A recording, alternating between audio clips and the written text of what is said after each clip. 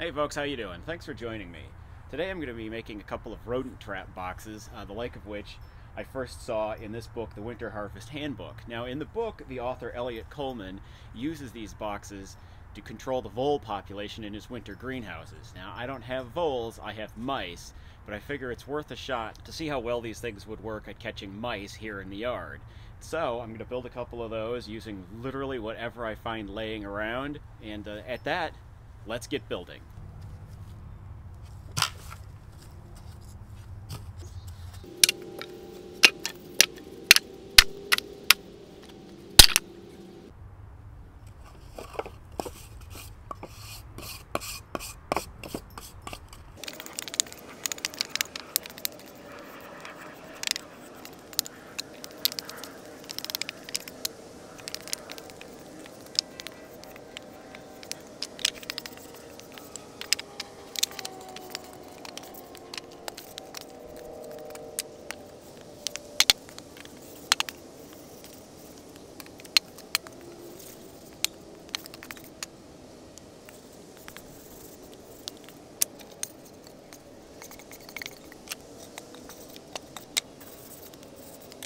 Oh, and in case you were wondering, I am going to pull the staples out of all this wood.